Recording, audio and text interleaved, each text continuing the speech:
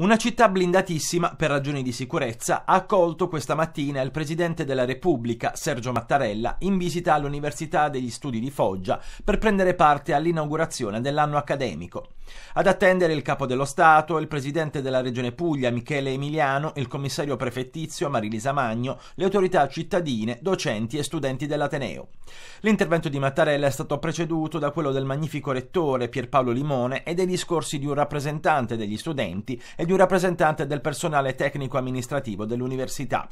Imponenti le misure di sicurezza messe in campo per l'arrivo del presidente. Una settantina di persone, tra agenti della squadra mobile e carabinieri, hanno garantito l'ordine pubblico. Interdetta al traffico veicolare l'area in corrispondenza dell'aula magna dell'Ateneo, dove si è svolta la cerimonia, individuata come zona di massima sicurezza. Presenti sul posto anche due squadre di artificieri, unità cinofile antisabotaggio, tiratori scelti, oltre ad agenti della polizia locale, della polizia penitenziaria e militari della Guardia di Finanza. Inevitabile il riferimento del Capo dello Stato durante il suo intervento alle vicende che hanno interessato la città negli ultimi mesi con il comune sciolto per infiltrazioni mafiose.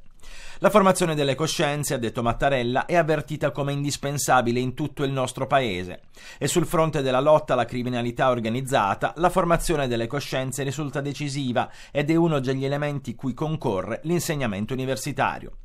L'ultima visita di un presidente della Repubblica nel capoluogo d'Auno risaliva al 31 gennaio 2006, quando l'allora capo dello Stato, Carlo Azeglio Ciampi, scomparso nel settembre del 2016, arrivò a Foggia in compagnia della moglie Franca, nell'ultima tappa di un tour istituzionale tra le province italiane.